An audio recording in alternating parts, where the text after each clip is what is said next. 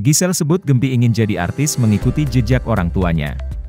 Selain sebagai penyanyi, Gisela Anastasia alias Gisel juga aktif di dunia seni peran. Begitupun dengan mantan suami, Gading Marten yang juga aktif membintangi sejumlah film layar lebar. Lantas apakah sang buah hati mereka, Gempita Nora Marten akan direncanakan menjadi aktris di masa depan? Kalau aku sih terserah anaknya, kalau anaknya demen ya, jadi, aktris, Kata Gisel saat berbincang di Tribun Corner, Senin, 12 Desember 2022. Gisel juga baru saja membintangi film layar berjudul Anak Titipan Setan. Dalam film itu, ia beradu akting dengan aktor cilik, Gabriel Bivolaru. Gisel mengaku kagum dengan aktor cilik yang ia temui. Apabila Gempi menginginkan menjadi aktris nantinya, Gisel akan mendukung sang buah hati, asalkan benar-benar menunjukkan kualitas aktingnya. Makanya aku bilang anak-anak yang kemarin main itu hebat-hebat semua, mereka mau excited dan senang gitu, jelas Gisel. Gisel sebut Gempi ingin jadi artis mengikuti jejak orang tuanya. Selain sebagai penyanyi, Gisela Anastasia alias Gisel juga aktif di dunia seni peran. Begitupun dengan mantan suami, Gading Marten yang juga aktif membintangi sejumlah film layar lebar. Lantas apakah sang buah hati mereka, Gempita Nora Marten akan direncanakan menjadi aktris di masa depan?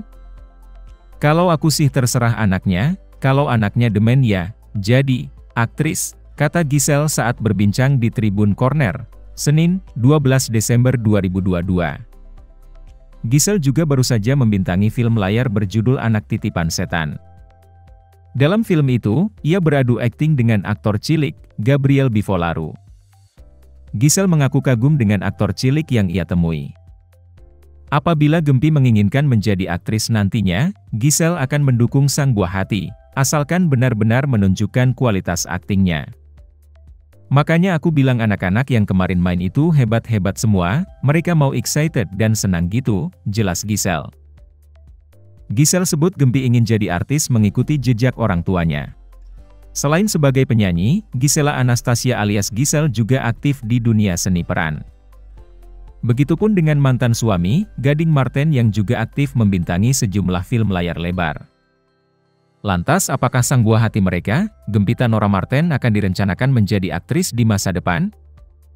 Kalau aku sih terserah anaknya, kalau anaknya demen ya, jadi, aktris, kata Gisel saat berbincang di Tribun Corner, Senin, 12 Desember 2022. Gisel juga baru saja membintangi film layar berjudul Anak Titipan Setan. Dalam film itu, ia beradu akting dengan aktor cilik, Gabriel Bivolaru. Gisel mengaku kagum dengan aktor cilik yang ia temui. Apabila Gempi menginginkan menjadi aktris nantinya, Gisel akan mendukung sang buah hati, asalkan benar-benar menunjukkan kualitas aktingnya. Makanya aku bilang anak-anak yang kemarin main itu hebat-hebat semua, mereka mau excited dan senang gitu, jelas Gisel.